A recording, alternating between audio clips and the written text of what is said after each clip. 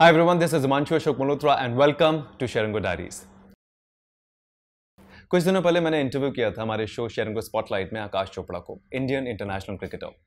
उनसे बात हो रही थी तो उन्होंने कहा कि उनकी ज़िंदगी का जो पर्पस है वो है ज़्यादा से ज़्यादा एक्सपीरियंसेस कलेक्ट करना अनुभव. And I was really really surprise to hear that it's such a beautiful thought you know our life is only about experiences collecting them as much as we can as many as we can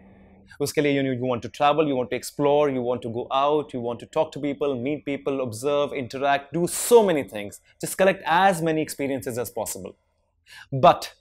you know our experiences are only valuable to us only when we have the power and ability to turn them into life lessons because हर experience हर अनुभव आपको कुछ सिखा रहा है उसे सीखना बहुत ज़्यादा ज़रूरी है the moment we learn from our experiences that's the time we move ahead in our lives you know we can never control what's going to happen to us but we can always we always have the power to leave any situation stronger and wiser than before